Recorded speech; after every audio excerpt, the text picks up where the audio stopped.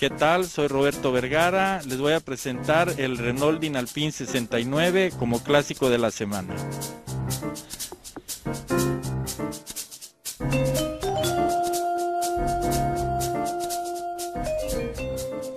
Vamos a platicar un poquito de las características de estos vehículos. Eh, fueron fabricados en México por la DINA Nacional de ahí es donde eh, se les llama Dinalpin, en Europa se les conocía como Alpin. Igualmente fueron fabricados 508 mm, aquí en México a partir del 66 al 73 aproximadamente. Eh, es un carro que nosotros lo conocemos tipo berlineta. Hay, otra, hay otras versiones tipo convertible o cabrio así como el GT4, le llamamos GT4 porque era de cuatro plazas, que es conocido como el patito feo de los dinalpines. este carro yo lo compré hace 25, 26 años, por cierto me di la endrogada de mi vida y gracias a Dios lo hemos logrado mantener en buen estado. Le hemos tenido que modificar algunas cosas, perdiendo un poquito su originalidad, más lo hemos procurado mantenerlo más original o en forma de que es cuando se compró.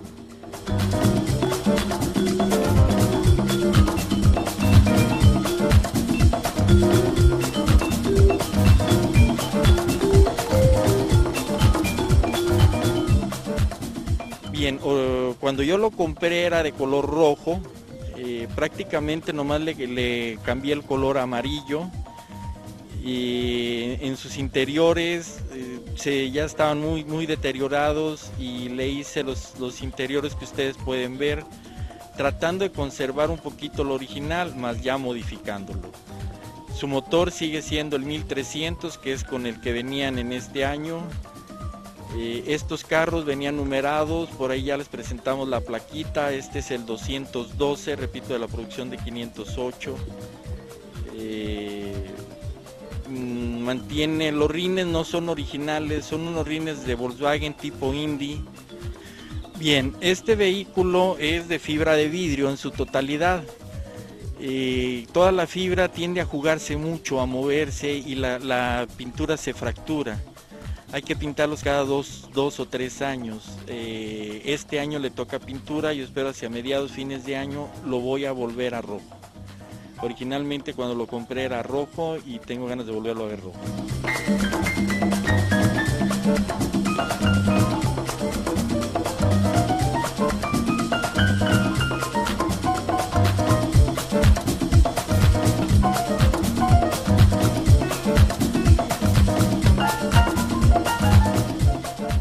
Este carro, desde sus orígenes, desde sus principios, eh, que vendría siendo en Europa el famoso Alpine, que, sale en, el año 62 aproximadamente, en sus principios trae los frenos de disco en las cuatro ruedas.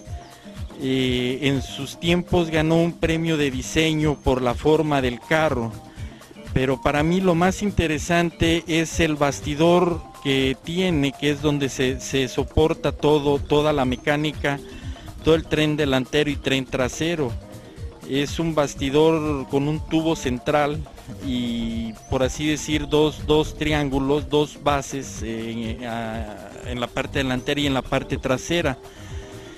Ese bastidor fue tan funcional y tan práctico que logró soportar hasta sin, sin grandes cambios, logró soportar hasta motores de 2 litros, eh, cajas modificadas, eh, en fin, con el mismo bastidor. Nunca hubo necesidad de hacerle mayor refuerzo o mayor arreglo.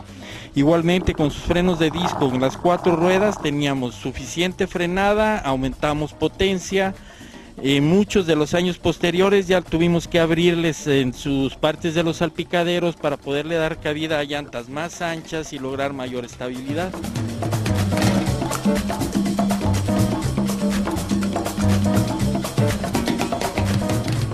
La gente que hemos manejado Renaults en ciertos momentos de nuestra vida nos cautivan, nos, nos encantan. Yo en toda mi vida he tenido varios Renaults Siempre quise tener un Renault deportivo y gracias a Dios logré tener este. He tratado de mantenerlo funcionando.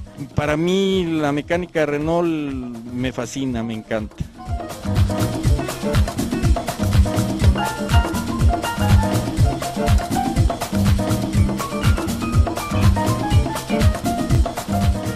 recuerdo mi nombre, soy Roberto Vergara, eh, les he presentado mi Renault Dinalpin, espero les haya gustado. Eh, este carro milita en las filas del Club Renault Guadalajara. Eh, nos juntamos todos los viernes a partir de las 9 de la noche en la calle de Cubilete y López Mateos. Están cordialmente invitados, allá podrán apreciar más carros Renaults y si tienes un Renault serás bienvenido.